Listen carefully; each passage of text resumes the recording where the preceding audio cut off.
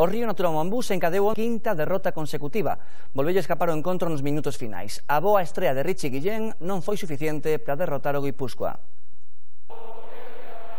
Guillén, a última fichaxe axustou as zapatillas e paladexou o primeiro miudiño coa camisola de Obradoiro. A posta en estea galega foi perfecta, tanto desde a bancada como na pista, con luz poñendo a música e corbacho a letra, de tres en tres puntos. Río Natura mandaba por 10 os 7 minutos. A segunda falta de luz mudou a situación. Entrou Xanzópulos, frío, sentino. Un feixe de perdas permitiron a Guipúzcoa espertar e entrar na disputa. Uns e outros alternaron ata o final acertos e erros de bulto, pero caso é que a falta de seis minutos, Río Natura pegou un tirón que puido ser decisivo.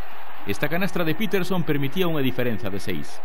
A aparición de Robinson e un par de rebotes ofensivos de Ramsdale equilibraron no de novo. No roncel de tiros libres finais, Guipúzcoa encontrou en Salgado o que lle faltou a Río Natura. Unha man infalible elevou a vitoria.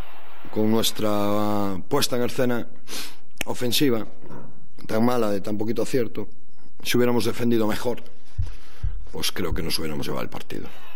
Non foi a única razón pro enfado de Moncho. Marchou descontento cos colexiados, en especial con Ana Cardús.